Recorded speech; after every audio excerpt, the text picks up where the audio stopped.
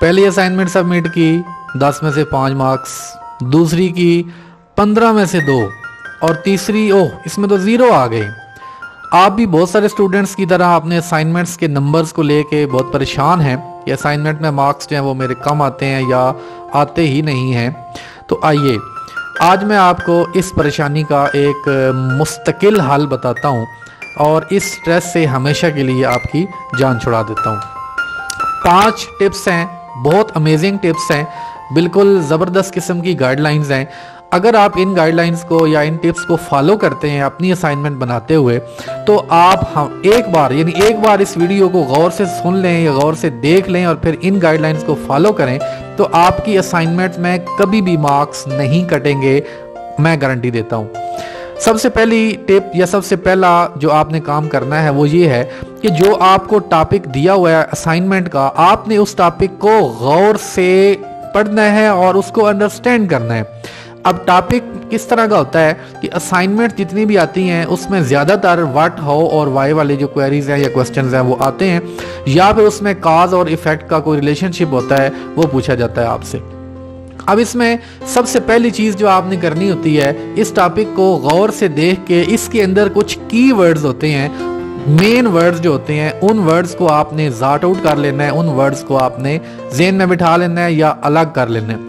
اب یہ جو کی ورڈز ہوتے ہیں، یہ کیا ہوتے ہیں؟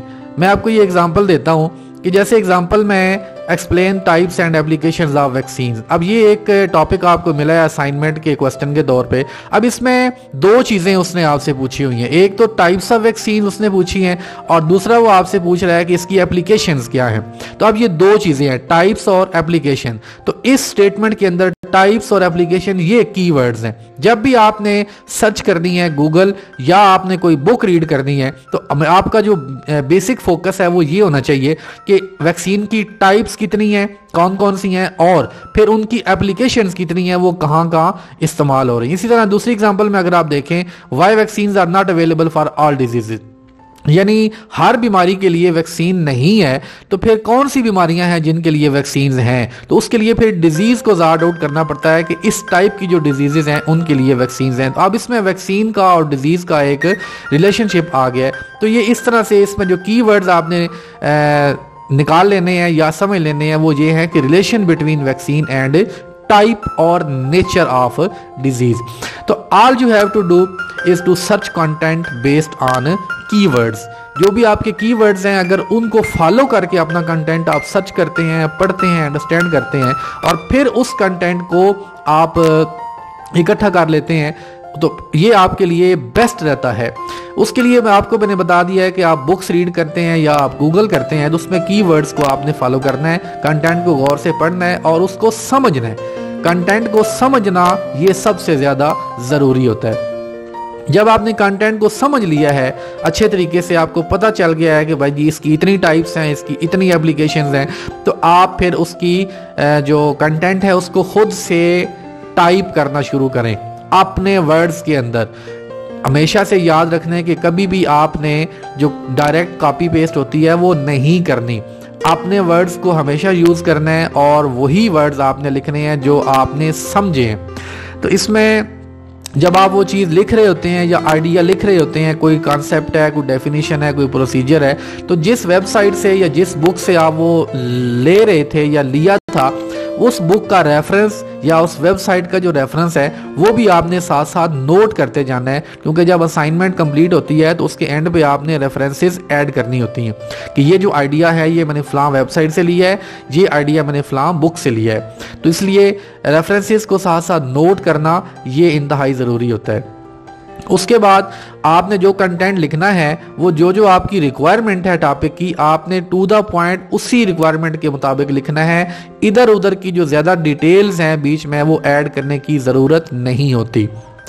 اس کے علاوہ کوشچن کے اندر ایک سیکونس دیا ہوتا ہے جی کہ آپ پہلے ٹائپس لکھیں اور پھر آپ اپلیکیشن لکھیں۔ جیسے میں نے آپ کو اگزامپل دی ہے، تو اس میں آپ نے پہلے جو ڈیٹیل سے چیزیں لکھنی ہے اسائنمنٹ کے اندر، وہ آپ کی ٹائپس ہیں۔ اس کے بعد اگلی جو ہیڈنگ آپ نے دینی ہے، وہ آپ نے اپلیکیشنز کی دینی ہے۔ تو جو سیکونس کوشچن کے اندر ہوتا ہے ہیڈنگز کا، اسی سیکونس کے مطابق آپ نے ہیڈنگز بنانی ہے اب یہ نہیں کرنا کہ پہلے آپ اپلیکیشن لکھ دیں اور اس کے بعد جا کے ٹائپس کو ڈسکس کریں۔ تو یہ بیڈ امپریشن میں آتی ہے۔ اس کے بعد دوسری جو ٹپ ہے وہ ہے ڈایاگرامز کے حوالے سے۔ تو ڈایاگرام جو ہیں آپ کو پتہ ہے یہ اسائنمنٹ کے اندر ایک بڑا زبردست امپریشن ہوتا ہے۔ اگر آپ نے جو کنٹینٹ لکھا ہوا ہے، اس کی جو ڈائیگرام ہے، وہ بھی ساتھ اویلیبل ہو، وہاں پہ لگی ہوئی ہو، تو that is best to see and to جج اب اس میں ڈائیگرام ایڈ کرنے کے ڈائیگرام بیچ میں رکھنے کے انسرٹ کرنے کے کافی زیادہ میتھڈز ہیں، آپ کو بھی پتا ہوں گے۔ لیکن میں جو ہمیشہ یوز کرتا تھا، وہ یہ تھا کہ میں اپنی ڈائیگرام خود بناتا تھا۔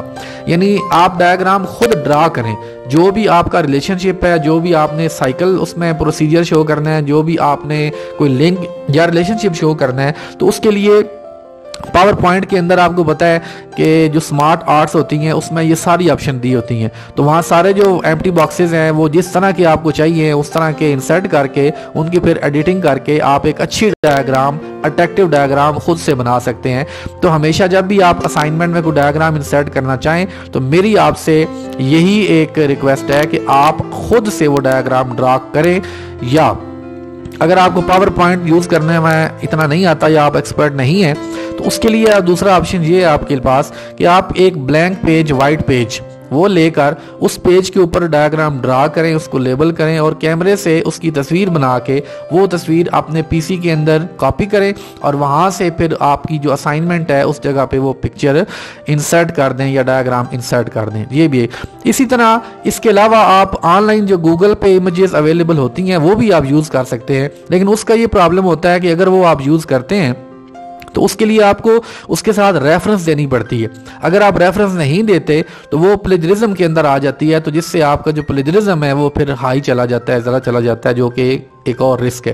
تو اس لیے میں کہتا ہوں کہ یہ آپشن اگر یوز کریں تو پھر اس میں ایڈیٹنگ وغیرہ کر لیں تاکہ وہ پلیجرزم سے بچ جائے۔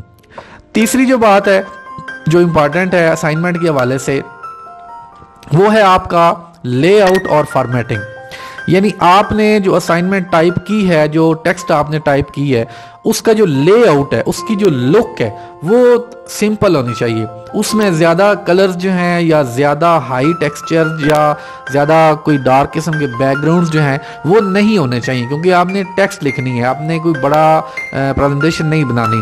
تو ٹیکسٹ سمپل رکھے، اس کا لے آؤٹ سمپل رکھے۔ ہاں جو آپ کی ہیڈنگز ہیں دیٹ شوڈ بی پرامیننٹ وہ ذرا واضح ہونی چاہیے تاکہ جب بھی دیکھیں کہ یہ ہیڈنگ ہے تو اس کے نیچے پھر یہ کنٹینٹ لکھا ہوا ہے تو وہ ایک اوبویسلی پرامیننٹ ہونی چاہیے۔ اسی طرح جو الائنمنٹ آپ یوز کریں، وہ جسٹیفائی الائنمنٹ یوز کریں۔ اس میں جب لیفٹ الائنمنٹ آپ یوز کریں گے تو آپ کی جو لائنز کی لینتھ ہے یا بڑی ہو جاتی ہے یا چھوٹی ہو جاتی ہے تو وہ ایک رف لک آ جاتی ہے۔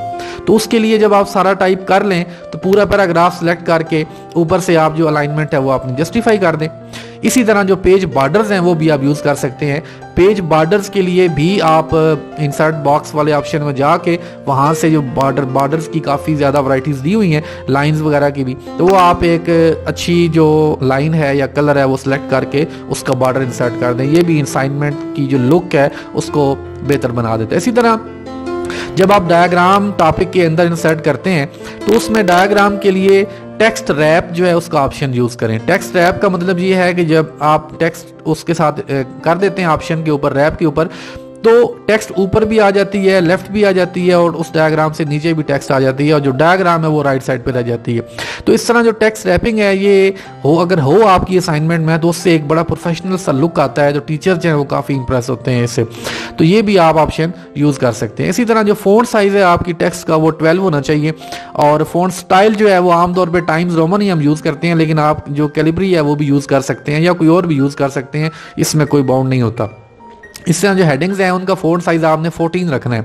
لائن سپیسنگ جو ہے، وہ عام طور پہ ون ہوتی ہے یا ون پوائنٹ ٹو فائیو ہوتی ہے، تو آپ اس کو ون پوائنٹ فائیو پہ لے آئیں۔ One point five is most attractive line spacing اگر دو پہ چلے جاتے ہیں، تو وہ بالکل ہی ایمٹی سا ایمٹی سا ہو جاتا ہے۔ اور اگر بالکل ون پہ آ جائیں، تو وہ کنجسٹیڈ سا ہو جاتا ہے۔ تو ون پوائنٹ فائیو ایوریج جو ہے، یہ ایک اچھی آپشن ہے آپ کے لیے۔ اسی طرح جو پیج کا بیک گراؤنڈ ہے وہ بھی آپ چینج کر سکتے ہیں۔ باقی اسٹوڈنٹس نے جہاں پہ وائٹ بیک گراؤنڈ میں کی ہوئی ہے، آپ اگر کوئی کلرفل بیک گراؤنڈ دے کے جس میں ٹیکسٹ ویزیبلٹی اچھی ہو، تو وہ بھی آپ یوز کرتے ہیں۔ تو آپ دوسروں سے اچھے ہیں یا آپ دوسروں سے سٹینڈ آؤٹ کر گئے ہیں۔ اسی طرح آگے جو چوتھا ٹیپ ہے میرا، وہ سب سے زیادہ ضروری ہے، بہت ہی ضروری ہے اور وہ ہے پلیجرزم چیک پلیجرزم میں آپ نے یہ کرنا ہے کہ کبھی بھی آپ نے کاپی پیسٹ نہیں کرنا۔ نہ ہی آپ نے آن لائن ویب سائٹ سے کاپی کرنی ہے، نہ ہی آپ نے کسی بک کو دیکھ کے ڈائریکٹ وہی کاپی جو ہے ٹائپ کر کے لکھ دینا ہے، کیونکہ بکس جو ہیں وہ بھی پلیزم کے اندر ہی آتی ہیں۔ تو کبھی بھی کاپی پیسٹ نہیں کرنا، ہمیشہ سے اپنی ورڈنگ یوز کرنی ہے۔ اسی طرح جب آپ لکھ لیتے ہیں تو اس کا جو اسائنمنٹ ہے، پوری، پورا ایک آپ کا فائل بنی ہوئی ہے، تو اس کی پلیجرزم آپ نے چیک کرنی ہے۔ وہ پلیزم چیک کرنے کے لیے مختلف میتھڈز اویلیبل ہیں، تو اس میں میں آپ کو ایک آپشن بتا دیتا ہوں۔ ہاں ایک بات یاد رکھیں کہ آن لائن جو پلیزم ہم چیک کرتے ہیں کہ مختلف ویب سائٹس ہیں فری میں، کو ان کو وقت اپنی ٹیکسٹ ڈالیں جی ہم آپ کو چیک کر کے دیتے ہیں وہ موسٹلی فیک ہوتے ہیں۔ یعنی ان کے اندر کوئی بھی سچائی نہیں ہوتی ہے، وہ عام طور پہ میں نے اکثر بھی جب اسائنمنٹ کا جو کنٹینٹ ہے، وہ ان کے اوپر انسرٹ کر کے چیک کیا تو وہ زیرو آیا جی۔ پلیزم زیرو ہے۔ لیکن جب میں نے اپنے سافٹ ویئر میں ڈالا تو وہ کوئی ٹوئنٹی پرسینٹ آ گیا، کوئی ٹوئنٹی فائیو پرسینٹ آ گیا۔ تو اس لیے جو آن لائن سافٹ ویئر یا ویب سائٹس ہیں پلیجرزم والی، وہ موسٹلی فیک ہیں۔ تو ان کے اوپر آپ نے ٹرسٹ نہیں کرنا۔ دوسرا، دوسرے جو اسٹوڈنٹس ہیں آپ کے جو آپ کے ساتھ فیلوز ہیں، ان کی اسائنمنٹس بعض دفعہ ہم لیتے ہیں اور لے کے وہی کاپی ادھر بھی کر دیتے ہیں کہ اس ٹیچر نے کون سا چیک کرنا ہے۔ تو کبھی بھی کبھی بھی ایسا نہیں کرنا۔ کیونکہ اگر آپ کسی دوسرے اسٹوڈنٹ کی اسائنمنٹ لے کے اپنے نام سے وہ سینڈ کر دیتے ہیں، تو وہاں جب ٹیچر چیک کرتے ہیں، تو وہ ایک ہی وقت میں ساری اسائنمنٹ چیک ہوتی ہیں۔ تو اگر اس میں دو اسائنمنٹ سیم آ جاتی ہیں تو ان کا جو سافٹ ویئر ہوتا ہے وہ فوراً بتا دیتا ہے کہ یہ نمبر اور یہ نمبر جو اسائنمنٹس ہیں یہ سیم ہے تو اس میں پھر دونوں سٹوڈنٹس کے جو مارکس ہیں وہ سٹریٹ فارورڈ زیرو ہو جاتے ہیں۔ تو اس لیے یہ کام کبھی بھی نہیں کرنا آپ نے۔ آپ پلیجرزم چیک کرنے کے لیے ایک سافٹ ویئر اویلیبل ہے، اسے ہم پلیجرزم چیکر ایکس کہتے ہیں۔ یہ سب سے اچھا سافٹ ویئر ہے جو میں اکثر یوز کرتا تھا۔ اب اس سافٹ ویئر کا کریک جو وہ اویلیبل تھا، ہم یوز کرتے رہے ہیں۔ لیکن آپ لوگ اس کو پرچیز بھی کر سکتے ہیں، کوئی اتنا زیادہ یہ مہنگا نہیں ہے۔ تو یہ جو پلیزم چیکر ہے، یہ سب سے اچھا ہے اور اس کی جو کوالٹی ہے یا اس کی جو اپڈیشن ہے، وہ بہت زبردست ہے۔ یہ جو بھی آپ کو پرسنٹیج دیتا ہے، وہی پرسنٹیج آلموسٹ جو ٹیچرز کا، جو اپنا ٹورنیٹن ایک پروفیشنل سافٹ ویئر ہے، وہ بھی دیتا ہے۔ تو یہ ایک بڑی اچھی آپشن ہے، اگر آپ یہ یوز کرتے ہیں تو۔ اسی طرح آپ کو یہ پتا ہونا چاہیے کہ جو بھی آپ اسائنمنٹ بنا رہے ہیں، اس میں ٹوینٹی پرسینٹ سے کم پلیجرزم الاؤڈ ہوتا ہے یعنی نائنٹین پرسینٹ تک الاؤڈ ہے۔ اگر ٹوینٹی یا اس سے زیادہ ہو گیا ہے، تو پھر وہ پلیجرائزڈ آ جاتا ہے، اس میں پھر آپ کے مارکس کم ہو جاتے ہیں۔ یا کچھ ٹیچرز بڑے اسٹرکٹ ہوتے ہیں، وہ تو ٹوینٹی سے اوپر ٹوینٹی ون بھی ہوگا، تو کہتے ہیں جی کاپی پیسٹڈ زیرو مارکس تو اس لیے ٹوینٹی پرسینٹ تک الاؤڈ ہوتا ہے۔ لیکن آپ کا جو پریزم ہے وہ میں کہتا ہوں کہ ٹین پرسینٹ کے راؤنڈ ہونا چاہیے۔ یعنی آپ ریڈیوس کر کر کے کر کر کے اس کو ٹین پرسینٹ پہ لے کے آئیں۔